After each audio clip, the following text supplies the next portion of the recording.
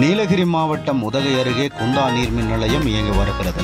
இந்த நீர்மின் நிலையத்தை சுற்றியுள்ள பகுதிகளில் இருபதுக்கும் மேற்பட்ட விவசாயிகளுக்கு விவசாய நிலம் உள்ளது.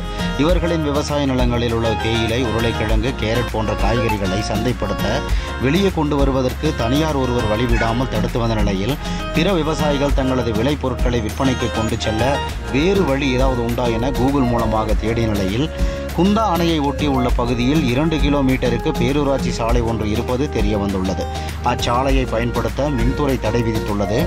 எனவே தடையை நீக்கி சாலையை பயன்படுத்த அனுமதி வழங்குமாறு விவசாயிகள் வலியுறுத்தி வருகின்றனர்.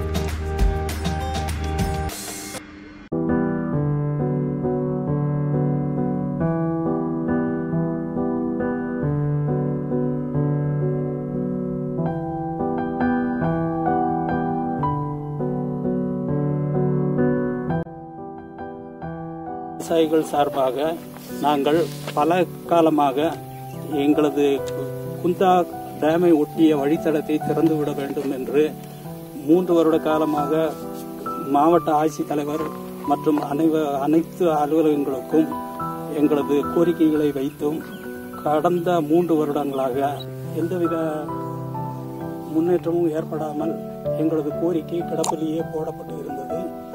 எங்களது கோரிக்கை பிரதமர் அலுவலகம் முதல் மற்றும் அனைத்து அலுவலகங்களுக்கும் அனுப்பியதின் தொடர்ச்சியாக கடை கடைசியாக எங்களது போராட்டத்திற்கு பிறகு கடந்த ஜனவரி மாதம் எங்களுக்கு இந்த பாதை புது பாதை தான் அதை நீங்கள் உபயோகித்துக் கொள்ளலாம் என்று சொல்லி இவர்கள் எங்களுக்கு உத்தரவு மாவட்ட ஆட்சித்தலைவர்கள் உத்தரவு கொடுத்தார்.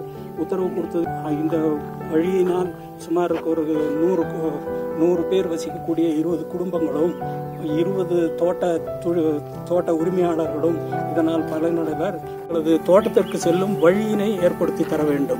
இதுக்கு